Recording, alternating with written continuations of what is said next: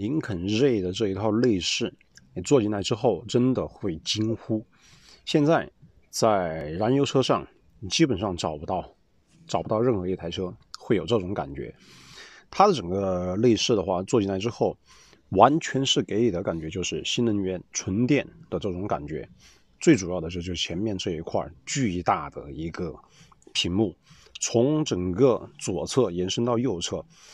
嗯。驾驶的前驾驶席的前侧是一个十二点三英寸的液晶仪表盘，然后从中控到副驾驶是整个一个贯穿式的二十七英寸的一个屏幕。这一块屏幕的话，你可以看到现在 可以把导航整个投影在一块屏幕上，当然包括娱乐的东西，爱奇艺还有很多的，比如说音频等等。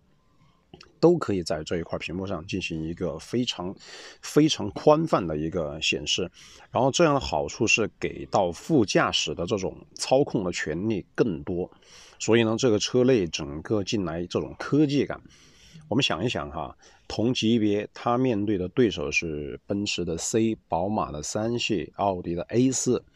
然后沃尔沃 S 六零等等，有哪一台车会有这种感觉？没有的，真的是没有的。这一台车在整个科技感、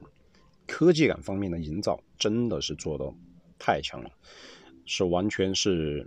在燃油车里的另类。